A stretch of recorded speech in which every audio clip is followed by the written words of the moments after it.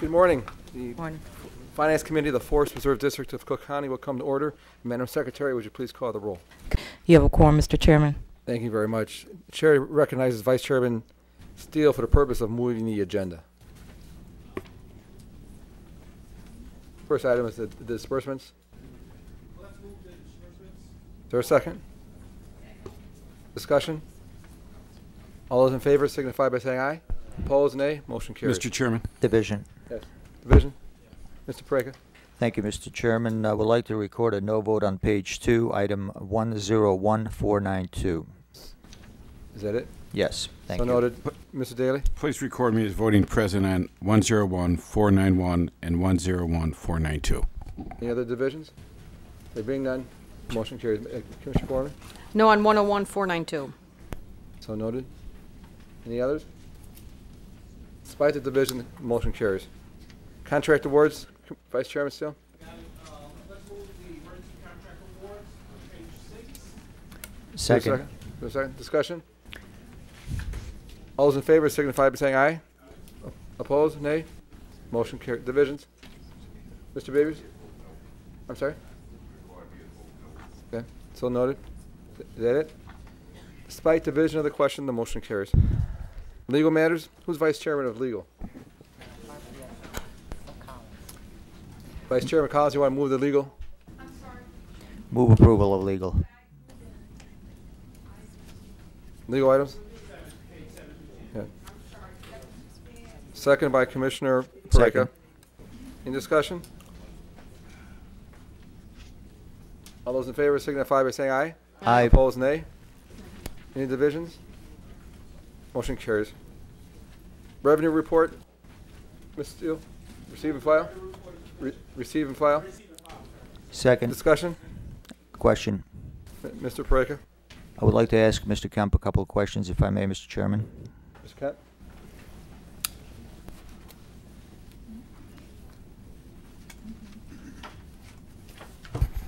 Marlo Kemp, Chief Financial Officer. Thank you, Mr. Kemp. Uh, First, looking at the expenditure side of the ledger, I want to note that uh, this is a midpoint of our fiscal year, which is on cash basis, right? Uh, not quite the midpoint, but yes, we're pretty close. close. And uh, we seem to be doing uh, very well across all expenditure categories. Uh, They're all below the projected amounts at this point in the fiscal year, correct? Uh, yes, most of them are. All right. And uh, in terms of the um, uh, revenues, uh, there, we are also below the expected projected revenues at this point, some Yes, that is $4.8 true. million dollars. Is that correct? Yes, that is true. And um, in terms of the uh, overall picture for the entire year, based on these revenues and expenditures, uh, do you expect that we will be below the level of expenditures that we projected for the total year? Um, I can't make a call. I would just looking at what we see, we may be slightly below. I don't think we will be as far below as we're as we're seeing right now. Okay, so that will be offset by some summer hiring and that type of thing, correct?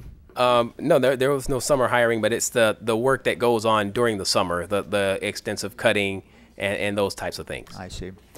And uh, the property tax matter uh, being um, 845,000 below uh, the revenue from the property taxes, is that a uh, seasonal uh, aberration or is this Um, well, we reflecting actually a lower receipt? Well, the, the fact of the matter is, we, we, we kind of anticipated that there would be lower receipts of the taxes. And uh, as mentioned last month by Mr. Donovan, uh, we had actually, um, the, the state had actually authorized uh, governments to collect 55% of their property taxes up front.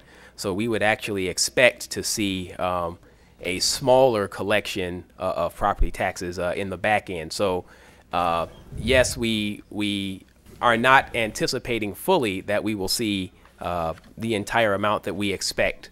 Uh, however, we had made contingencies for that uh, in that event. Any other uh, anticipated or unanticipated events between now and the end of the year that would alter the uh, projected revenues and expenditures? Uh, we do not foresee any events that would uh, would alter the projected revenues. I mean, obviously, there are some things that could transpire uh, that would ultimately uh, that would ultimately uh, that may lead to uh, you know revenues being less than anticipated. But then again, that's why we are adhering to our fund balance policy so that uh, we have coverage in case uh, those unanticipated events do occur. Have there been any changes in the uh, reserve uh, fund balances? Any major changes in the reserve fund balances uh, compared to what you reported on last time?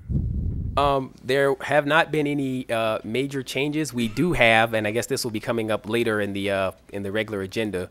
We do have our board meeting. Uh, we do have our annual report uh, that will show the fund balances as of the end of fiscal year uh, 2009. Uh, that I believe has been a copy has been provided to all of the commissioners. Okay. Do you anticipate any of the reserve balances that are on hand currently being used to reduce the outstanding debt that we have currently?